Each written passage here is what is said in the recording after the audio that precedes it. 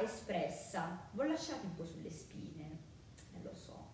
Ma adesso arriviamo alla seconda parte, al secondo quadro del secondo atto di Traviata di Giuseppe Verdi, librettista Francesco Maria Piave. Ve lo ripeterò all'infinito, fino a quando non ve lo sognerete di notte. Bene. Secondo quadro si apre con Festa a casa di Flora. Ma guarda, incredibile, ma guarda un po', non ce lo saremmo mai aspettati. Festa a casa di Flora, dove Alfredo sa di incontrare Violetta, perché Violetta inavvertitamente ha lasciato una lettera che è appunto l'invito a questa festa ehm, della sua amica Flora, lo lascia sul suo scrittoio. E quindi Alfredo sbircia, un po' come quando no, sei col tuo fidanzato, la tua fidanzata, ti arriva la notifica sull'iPhone, sbircia, vede un po' chi è che sta scrivendo, che cosa ha scritto. Ecco, anche all'epoca esistevano queste cose, ragazzi. Quindi l'epoca, quindi l'opera non è così obsoleta come pensiamo. Alfredo si reca a casa di Flora, trova Violetta, inizia a fare frecciatine, Violetta fa finta di niente, è accompagnata dal barone. Ad una certa il barone si infastidisce, insieme al barone si infastidisce Alfredo, quindi è tutto un infastidirsi in generale e decidono di sfidarsi a carte. Alfredo vince e riesce a trovare un momento per confrontarsi con Violetta in separata sede, quindi lontano, lontani dagli occhi degli invitati alla festa. In quel momento Violetta, pur di staccarsi da Alfredo, gli confessa di amare il barone.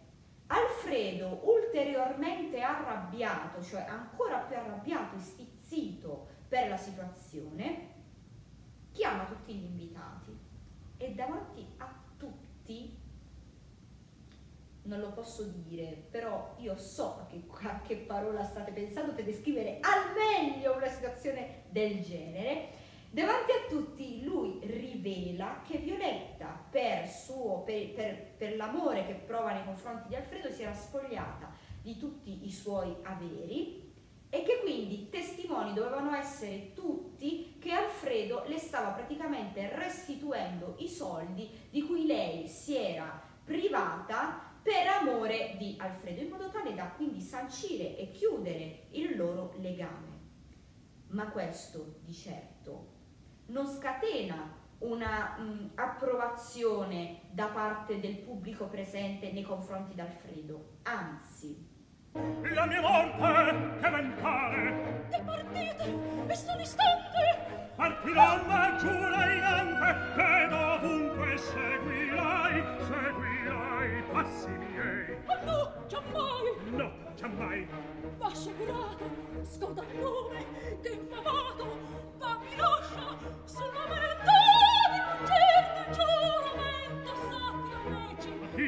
Dillo. Chi potea ma che diritto viene mio fu du foil. Sì. E dunque lei Or tutti la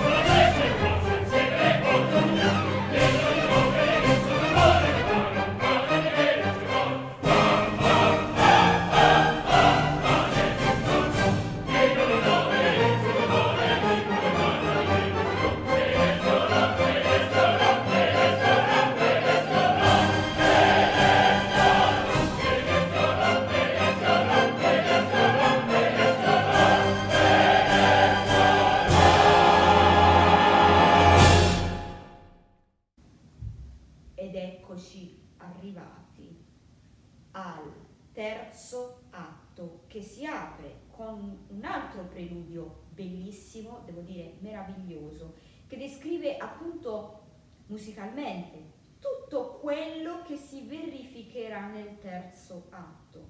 Quindi un po' ti dà quel senso di fiore che appassisce, no? In questo caso la dama delle camelie, appunto Violetta Valeri, che si appassisce, si spegne come un fiore in tutta la durata di quest'opera, arrivando al terzo atto praticamente quasi appassita del tutto. Siamo nella sua camera da letto, arriva il dottore che le dice, le misura un po' la pressione, gli dice come hai dormito stanotte, ma sì dottore, bene, il mio corpo soffre, ma la mia anima è serena e tranquilla perché so che tutto andrà bene. E il dottore gli dice, coraggio, la convalescenza non è lontana, ma lei sa di essere presa in giro, eh, però vabbè, se ne fa una ragione, raga, che vedevo di.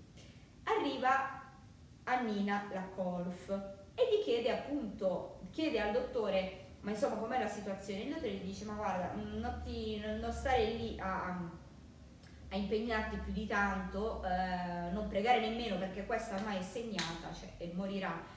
La tisi non le accorda che poche ore. Eh, vabbè, pazienza.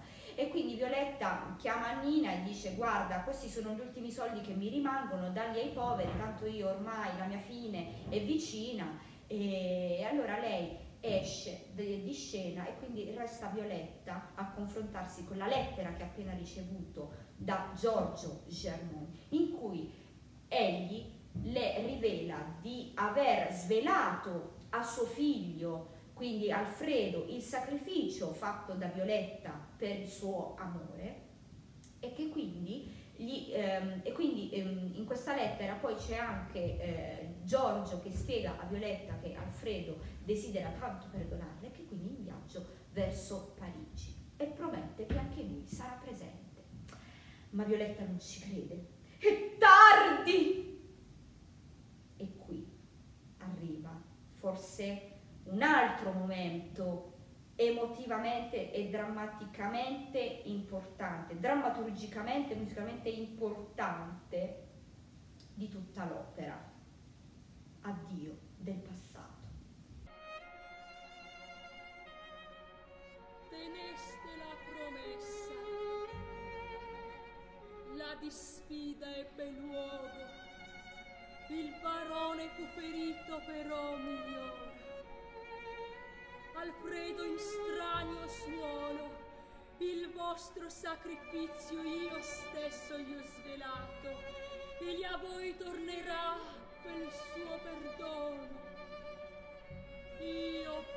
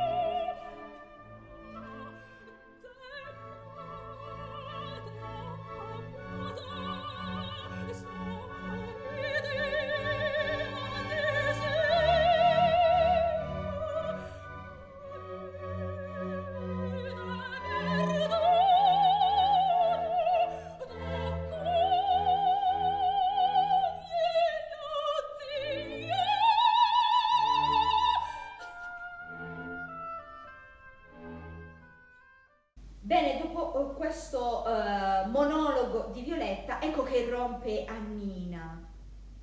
Questa orchestra anche abbastanza incalzante e agitata, un ritmo molto veloce. Signora, che t'accadde? ehm, cosa è successo, no? Ehm, ma guardi, ehm, però lei mi deve promettere di stare tranquilla perché eh, potrebbe non sopportare, non reggere l'emozione forte di questo momento, di questa cosa che sta per succedere. No, ma sì, ma non ti preoccupare, ma io sto da Dio, sto solo per morire.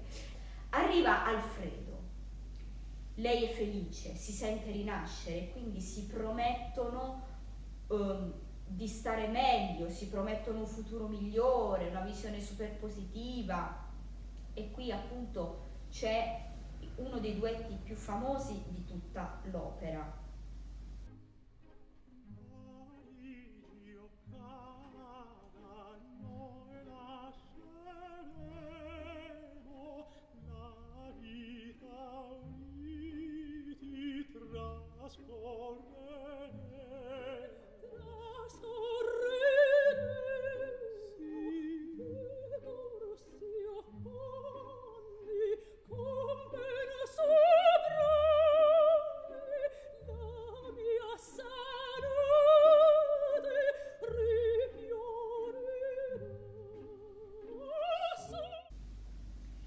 Dopo tutte queste promesse, ecco che arriva padre Germont.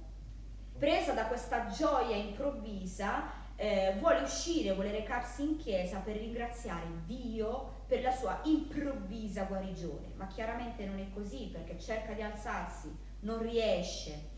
E allora lì che lei si danna la vita, m- perché morirsi giovane, eh, bla bla bla bla bla bla, alla fine, in un momento, lei si guarda intorno e quasi presa da un rigor mortis prima della mortem, lei dice cessarono gli spasmi. Chiaramente è semplicemente quell'attimo, quel nanosecondo prima di arrivare finalmente alla morte. Oh, oh!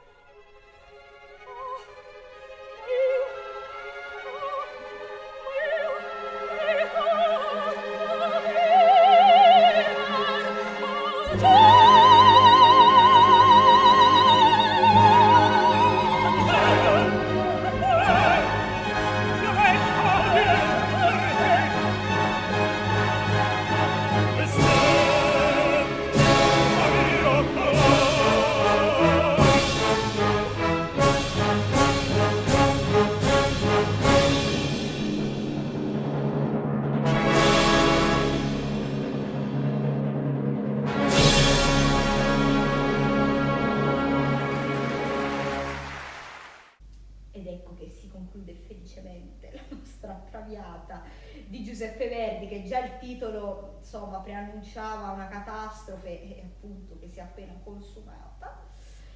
E io vi aspetto al prossimo racconto all'interno delle trame delle nostre opere liriche che sono meravigliose tutte e super avvincenti, super attuali. Vi aspetto alla prossima.